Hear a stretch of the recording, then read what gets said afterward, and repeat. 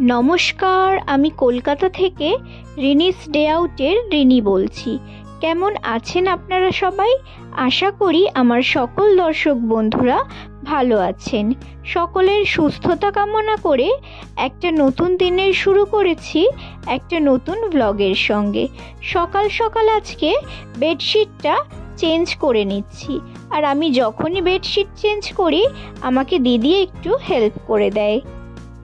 আজ একটা বড় কাজ করব। অনেক দিন ধরেই ভেবে রেখেছি। তাই রান্নাটা খুব তাড়াতাড়ি কমপ্লিট করে নেব।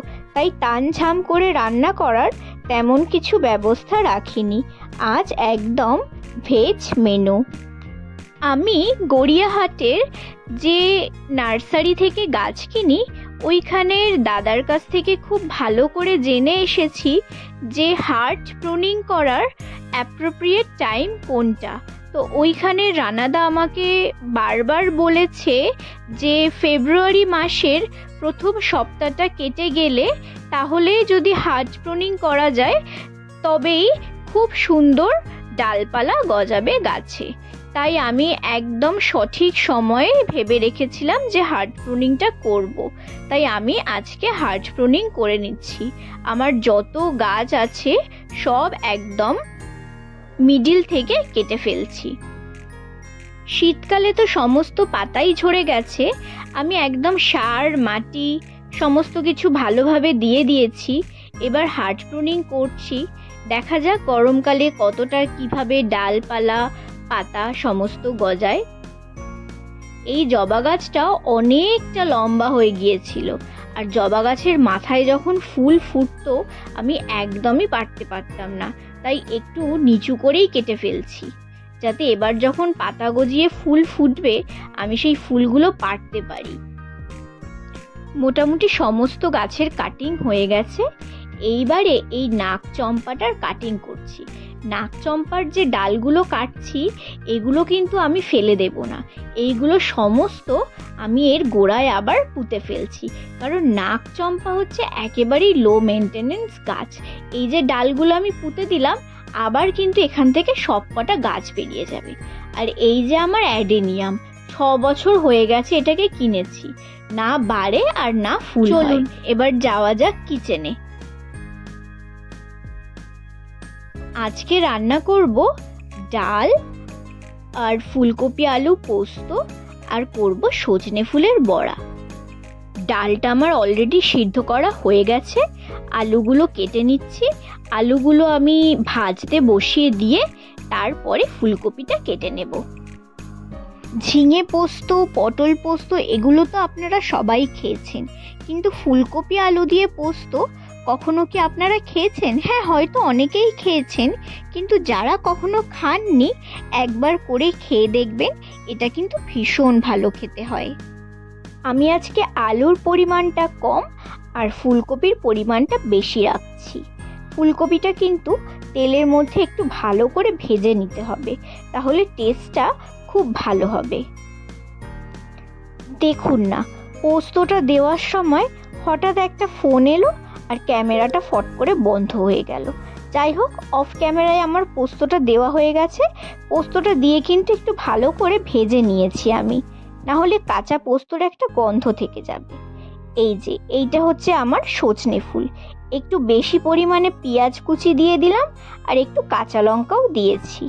এবার কিছুই না, একটু নুন আর এর মধ্যে আমি দিয়ে দিচ্ছি একটু বেশি করে পোস্ত বাটা। এইটা কিন্তু অপশনাল না দিলেও চলে। কোনো সমস্যা নেই। আর চালের গুঁড়ি তো আমি দেবই, না হলে মুচমুচে ভাবটা একদমই আসবে না। একটু বেশি করে চালের গুঁড়ি দিয়ে দিচ্ছি, জল কিন্তু একদমই আমি এখানে ব্যবহার করব না। তাহলেই কি হবে? এর মধ্যে অনেকটা বেসন দিতে হবে, তাহলে স্বাদ একদম কমে যাবে।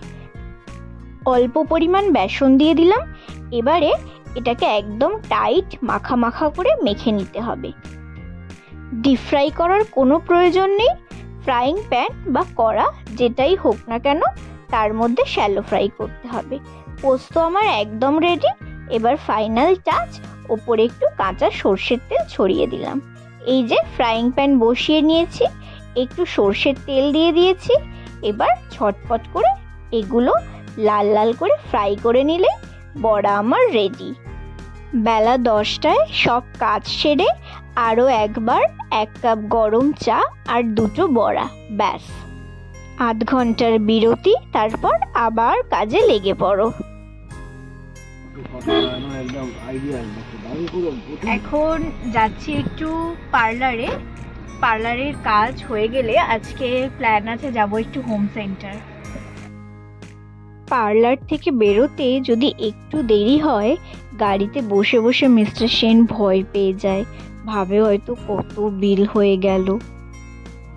রাস্তার ধারে এই চায়ের দোকানগুলোতে দাঁড়িয়ে এই মাটির ভাড়ে চা খেতে আমার সেই কলেজের টাইম থেকে ভীষণ ভালো লাগে। তখন খেতাম বন্ধুদের সাথে। দিনগুলো গেছে অদ্ভুত সুন্দর। এবার আমার গন্তব্য হোম সেন্টার মানে অ্যাক্সেস মল অ্যাক্সেস মলের হোম সেন্টারে আমাকে মানে মাসে না হলেও দু মাস অন্তর তো একবার যেতেই হবে। এই যে, চলে এসেছি। রাজারহাট নিউ টাউনের ওপর দিয়ে যতবারই এখানে আসি, একটু একটু করে কলকাতার পরিবর্তনগুলো লক্ষ্য করতে থাকি।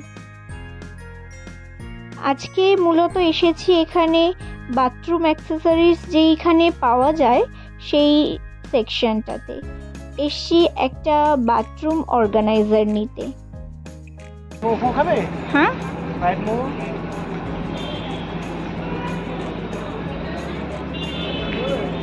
ফ্রাইড মোমো খাও। হ্যাঁ?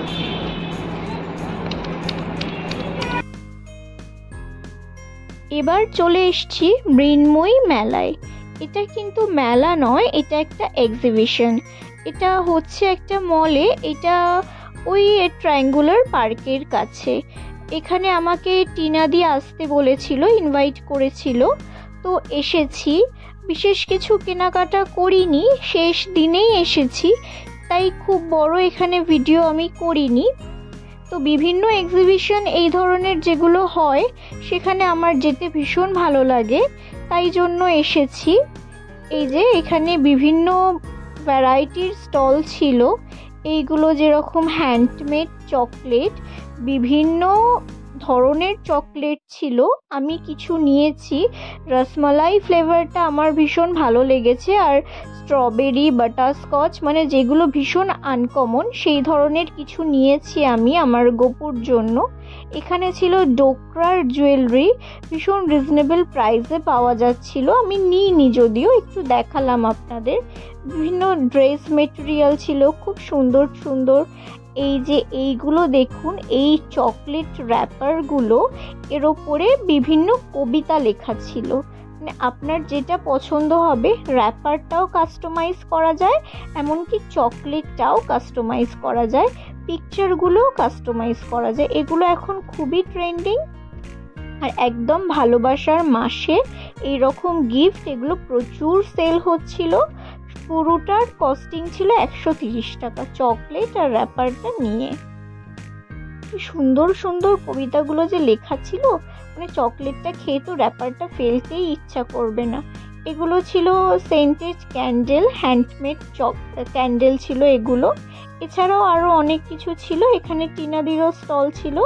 এই যে এগুলো হচ্ছে, এটা হচ্ছে টিনাদির স্টল কটনের বিভিন্ন কালেকশন ছিল। কার্টেন ছিল বেডশিট ছিল বেড কভার বিভিন্ন ভ্যারাইটি ছিল। যাই হোক বন্ধুরা, আজকের ভিডিওটা এখানেই শেষ করছি। যদি ভালো লাগে আমার চ্যানেলটা সাবস্ক্রাইব করে আমার পাশে থাকবেন। নমস্কার, ভালো থাকবেন সকলে। ফিরে আসব আগামীতে নতুন ভ্লগের সাথে।